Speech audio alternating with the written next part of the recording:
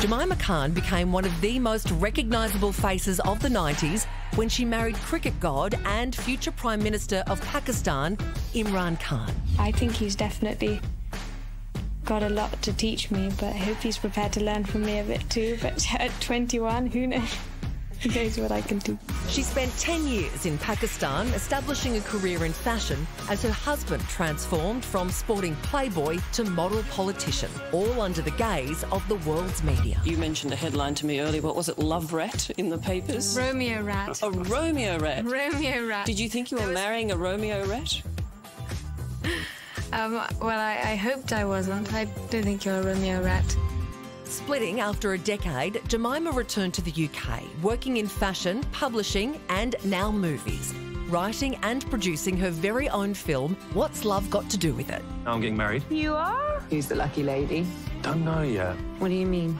I'm getting an arranged marriage. Well, assisted marriage. That's what we're calling it these days. Dare I ask, what about love? You grow to love the person you're with. What, like Stockholm Syndrome? The cross cultural feel gooder is set between London and Lahore and is packed with an ensemble cast including Lily James and Emma Thompson. I've been very lucky to have them as neighbours. Actually, they've become like family to me since your father left for that teenage tour. She's 35. Exactly. Would you please welcome Jemima Khan? Thank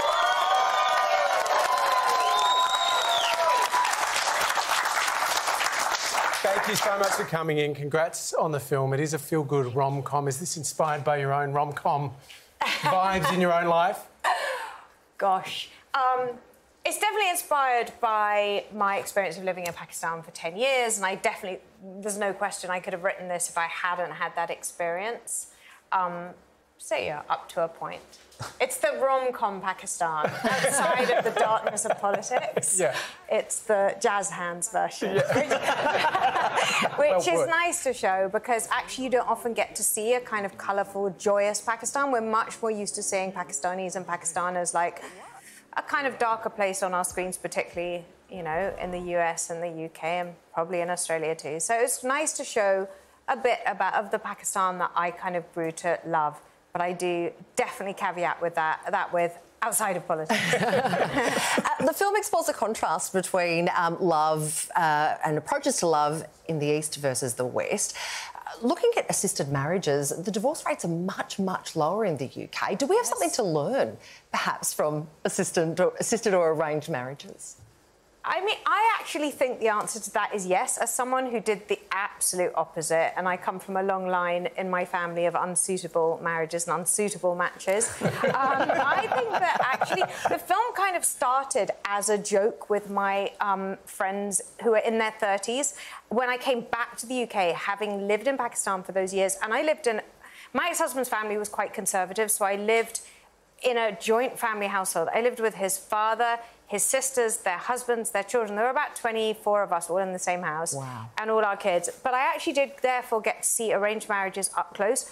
Long term ones and ones that were actually being arranged that I kind of was on the committee for.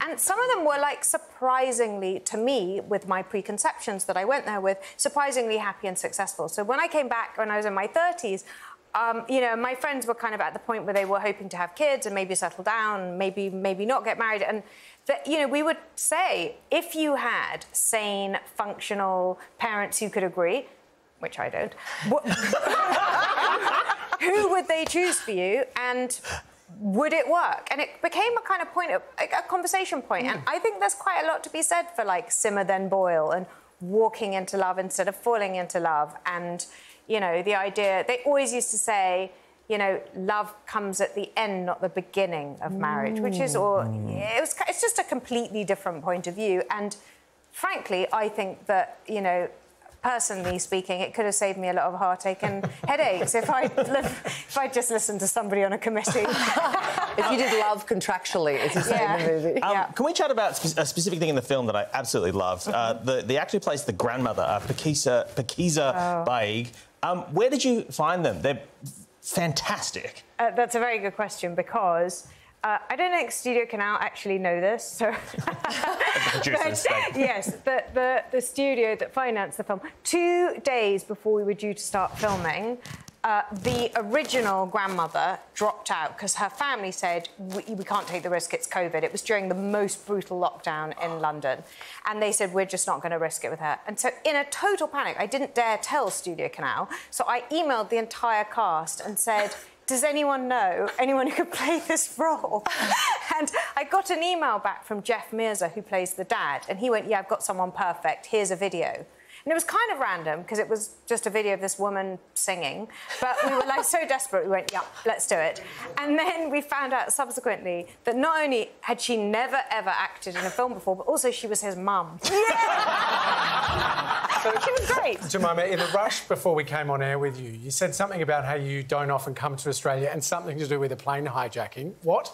Ah, um, well, uh, this is my first time in Australia. I'm very happy to be here, but I didn't think I'd ever make it this far because I have for years battled a real terror of flying. Because um, quite a few years ago, I was on a British Airways flight that got hijacked, and a paranoid schizophrenic tried to suicide crash our plane, oh, and wow. we fell 25,000 feet. It was all extremely dramatic. I had my kids on the plane. He had his, I mean, the, the hijacker.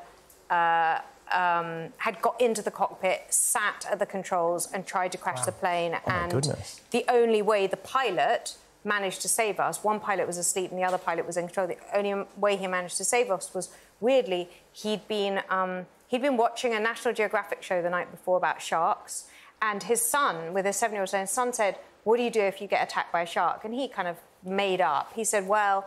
The weak point on a shark is the eye. So if you ever get attacked, just go for its eye.